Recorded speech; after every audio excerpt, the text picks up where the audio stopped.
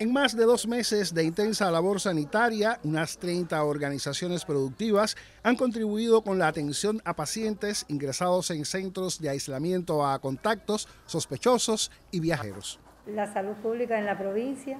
quiere resaltar el trabajo que de forma sistemática e integradamente ha desarrollado la ANAC en la provincia, en todos los municipios con el sector de la salud.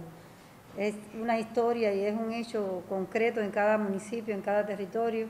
como la participación de los campesinos, las diferentes asociaciones, a nivel de la base, eh, han desarrollado una relación de trabajo sistemática que nos ha permitido eh, eh, ayudar y contribuir con la alimentación tanto de las embarazadas en la red de hogares maternos que tenemos,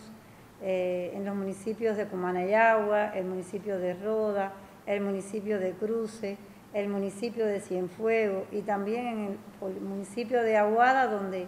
eh, tenemos un hospital con cama allí con, con, una capacidad de 15 embarazadas y ha estado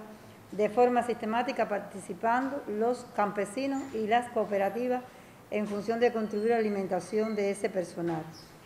Muestras de solidaridad que se agradecen en momentos de unir voluntades. Boris García Cuartero, Notisur.